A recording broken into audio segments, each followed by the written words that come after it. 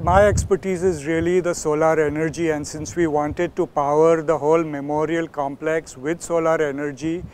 the obvious choice was to use solar panels like the one you see here and use that to power the lighting and everything else. We would need to have batteries to store the energy and that was turning out to be really quite expensive and very complex. So what we decided really is to make it a zero energy complex in which it generates as much energy or more energy than it uses throughout the day. So what it really meant is that it would be a grid connected uh, solar uh, panel